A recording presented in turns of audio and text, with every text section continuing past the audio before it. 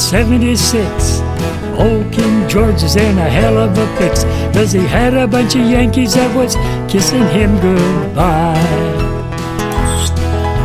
They said King George, here's the latest news. We got General George, so we don't need you. And if you think you're gonna take our liberty, just try.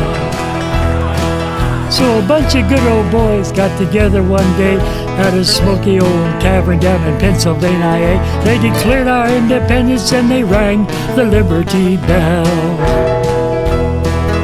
They said, King George, we've had enough. If you want to start a fight, boy, it's gonna get rough. And when those redcoats get here, we're really gonna give them hell. Betsy Rossins and gals, they all got together.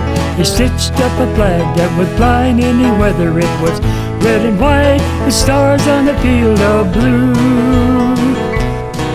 Then a patriotic poet named Francis Scott Key wrote a song that begins, Oh, say, can you see? It was a long time ago, and they did it for me and you. Yes, they did.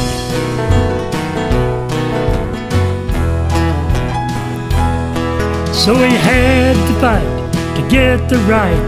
Some good men fought, some good men died, and the British kept it coming till they finally got blown away. And when the smoke had cleared, the fighting was done. The war was over and we damn sure won. Freedom didn't come easy, we ain't gonna give it away. Been a long, long time from there to here. The drums and the pipes still echo through the years. The flag that Betsy made is still up flying. There are tough times now, there were tough times then. We did it before, we can do it again. We ain't never gonna give up, yeah, we're gonna keep trying.